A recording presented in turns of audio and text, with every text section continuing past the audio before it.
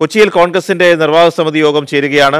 വളരെ നിർണായകമാണ്. ബജറ്റിനെതിരായ തുടർന്ന സമരപരിപാടികൾ യോഗത്തിൽ തീരുമാനിക്കും. ബജറ്റിനെതിരെയുള്ള പ്രതികരണങ്ങൾ പ്രതിപക്ഷ നേതാവും കെ പി സി പ്രസിഡന്റും വ്യത്യസ്ത അഭിപ്രായങ്ങൾ പ്രകടിപ്പിച്ചത് പ്രവർത്തകരിൽ ആശയക്കുഴപ്പം ഉണ്ടാക്കിയെന്നുള്ള വിമർശനം പാർട്ടിയിൽ തന്നെ ഉയർന്നിട്ടും ഉണ്ട്.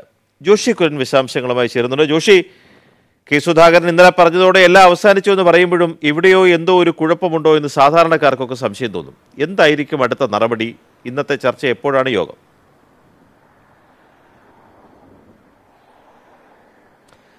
Good morning P G. രാവിലെ പത്തരയ്ക്കാണ് കൊച്ചിയിൽ കെ പി സി സി നിർവാഹക സമിതി യോഗം ചേരുന്നത്.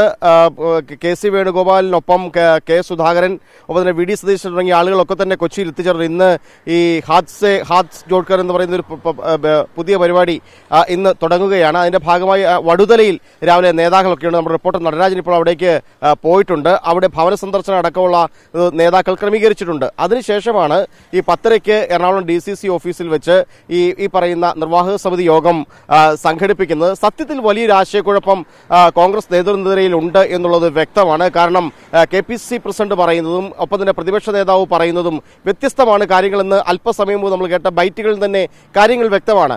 ഈ ഇന്നലെ രാത്രി ഒരു പ്രധാനപ്പെട്ട കോൺഗ്രസ് നേതാവിനോട് സംസാരിക്കുന്ന ഘട്ടത്തിൽ അദ്ദേഹം പറഞ്ഞത് ഈ ഒരു ഘട്ടം അതായത് ഈ ഇന്ധന സെസ് വർദ്ധിപ്പിക്കുന്നു ഈ കൊള്ളാവുന്ന മനുഷ്യർ ഉപയോഗിക്കുന്ന സാധനങ്ങൾക്കൊക്കെ നികുതി വർദ്ധിപ്പിക്കുന്നു. ഇങ്ങനെ ഒരു സാഹചര്യം യു ഡി എഫ് ആണ് നടത്തിയ യു ഡി എഫ് സർക്കാരാണ് നടത്തിയിരുന്നതെങ്കിൽ ഇടതുപക്ഷം കേരളത്തിൽ എങ്ങനെയായിരിക്കും ഒരു സമരം നടത്തുക എന്ന് ആരെങ്കിലും ചിന്തിച്ചിട്ടുണ്ടോ എന്നാണ് ഈ കോൺഗ്രസ് നേതാക്കൾ തന്നെ ചോദിക്കുന്നത്. അത്ര വലിയ ഒരുപക്ഷെ കേരളത്തെ നിശ്ചലമാക്കുന്ന സമരങ്ങളിലേക്ക് പോകുമായിരുന്ന ഒരു ഘട്ടം ഉണ്ടായിരുന്നു. കേരളത്തിലെ പ്രതിപക്ഷത്തിന് ഈ ഒരു ഈ സെസനി സെസ്സിനെ അടക്കം കൃത്യമായി രാഷ്ട്രീയമായി ഉപയോഗിക്കാൻ കഴിയുമായിരുന്നു.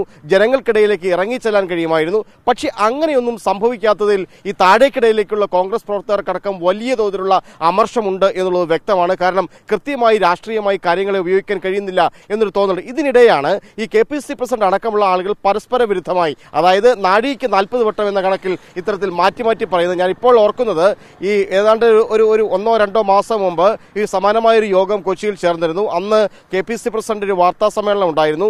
കെ പി സി പ്രസിഡന്റിനോട് മാധ്യമപ്രവർത്തകർ ചോദിക്കുന്ന ഘട്ടത്തിൽ അതായത് സാധാരണഗതിയിൽ പി ജി ഈ മാധ്യമപ്രവർത്തകർ